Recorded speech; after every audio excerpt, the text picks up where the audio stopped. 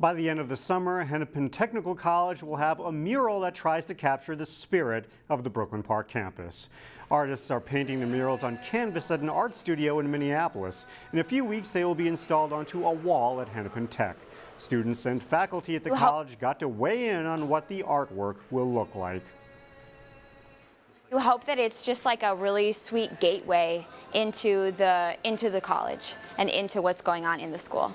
So that when people come to the school for the first time and they don't know about it, they're not just like met with like industrial block. They're met with like, oh, transformation is happening here. This gives me hope. This space is filled with potential.